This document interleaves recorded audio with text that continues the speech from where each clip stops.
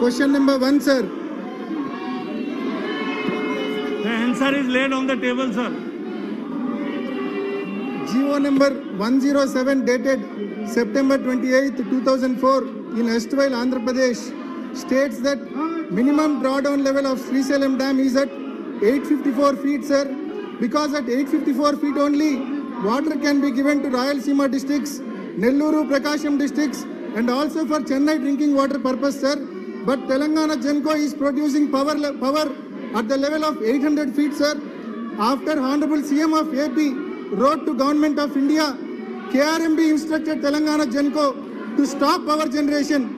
In spite of board's order, even today power generation is continued without building water level in Srisalam Dam, thereby worstly affecting the Rayalaseema districts, the Nellore Prakasham district and also Chennai drinking water purpose.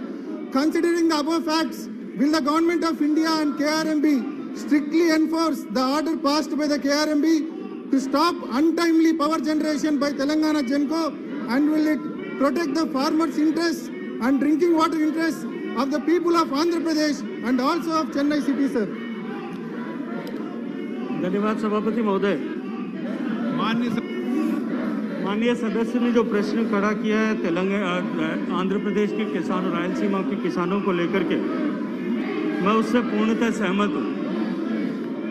केआरएमबी जो regulatory body है as पर Andhra Pradesh reorganisation act उस regulatory body के ninth meeting में ये तय किया गया था कि power generation will be incidental to irrigation and drinking water requirement जब इरिगेशन और ड्रिंकिंग वाटर के लिए पानी की आवश्यकता होगी, केवल और केवल तभी पानी जो है बाँध से छोड़ा जाएगा। आंध्र प्रदेश के माननीय मुख्यमंत्री जी का पत्र मुझे प्राप्त हुआ था। और साथ ही साथ में आंध्र प्रदेश के माननीय मुख्यमंत्री जी ने केआरएमबी के चेयरमैन को भी पत्र लिखा था। हमने उसके कंटेक्स में वापस प्रश्न का जवाब भी लिखा है। हमने बार बार उनको जो है केआरएमबी के माध्यम से भी और डायरेक्ट जैनको को लिख करके ये कहा गया है कि आप पावर जनरेशन को तुरंत बंद करें। लेकिन बंद करने के बजाय जैनको ने ये लिख दिया है कि अभी हम इसको बंद नहीं कर रहे हैं। फुल स्विंग पे तीनों प्लांट ऑपरेट करने चाहिए। हमने एक बार फिर तेलंगाना सरकार को चिट्ठी लिख करके कहा है कि इसे बंद किया जाना चाहिए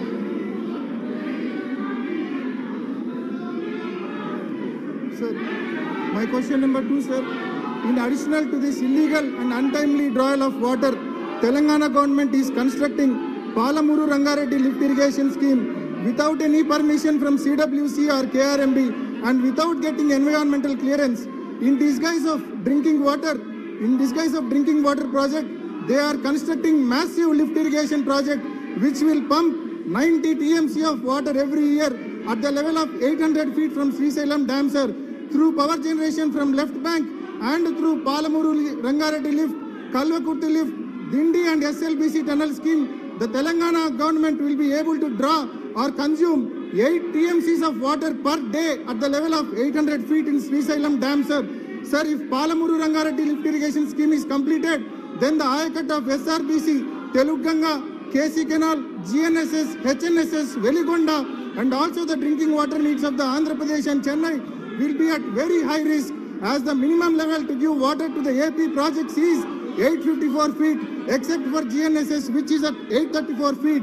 Keeping in view of the severe loss that is going to incur for the people of Andhra Pradesh and also for Chennai city, will the government of India take stern measures to stop Palamuru Rangareddy lift irrigation scheme, sir?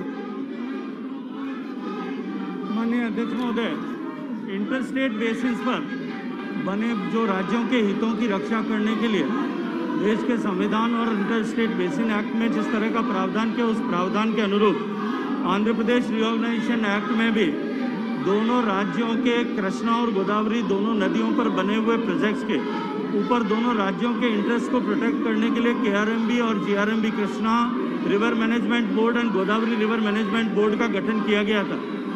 लेकिन सात साल तक क्योंकि उसका notification नहीं हो पाया था, दोनों ही बोर्ड अपनी ड्यूटीज़ का निर्वहन करने के लिए प्रयास करते हैं, राज्य सरकारों को लगातार उसके लिए बातचीत करते हैं। हमें इस व्यवस्था को और अधिक सुचारू करने के लिए हमने हाल ही में दोनों बोर्ड्स के जुरिस्डिक्शन को नोटिफाई कर दिया है। उस नोटिफिकेशन के बाद में जो है जो है बोर्ड की शक्तियाँ और बढ़ेंगे और निश्चित रूप से आने वाले समय में हम इस तरह की परिस्थितियों को रोक पाएँगे।